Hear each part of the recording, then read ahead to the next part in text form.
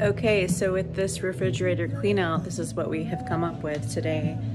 Um, this is all of the egg roll in a bowl plus roasted carrots and cooked onions and roasted garlic.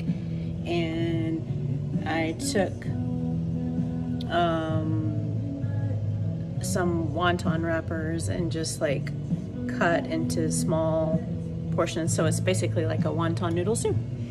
It's really good. I've already had a bowl. And with the six remaining wontons, I put cream cheese mixed with some um, Asian uh, sesame ginger dressing, folded it up, sprayed with oil, put in the air fryer. I've already had two. Maya came home and she had four, so Maya has none. But we love we love cream cheese wontons.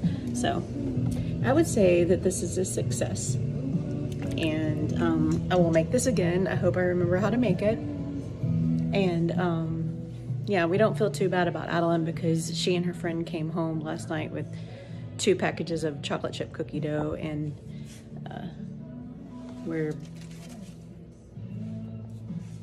we're still working on those. So I think everybody should be happy.